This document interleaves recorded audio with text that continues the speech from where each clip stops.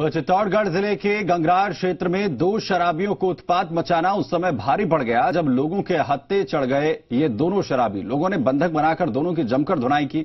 दरअसल सूरपुर गाँव की एक शराब की दुकान में नशे में धुत दो युवक अंदर घुसकर जब उत्पात मचाने लगे तो मौके पर मौजूद लोगों के दोनों युवकों को बंधक बनाकर अर्धनग्न कर दिया। और बाद में दोनों की पिटाई कर शराब का नशा उतार दिया। मौके पर लोगों की भीड़ जमा हो गई।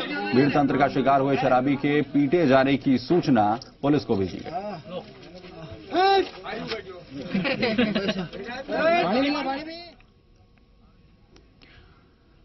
उधर जयपुर की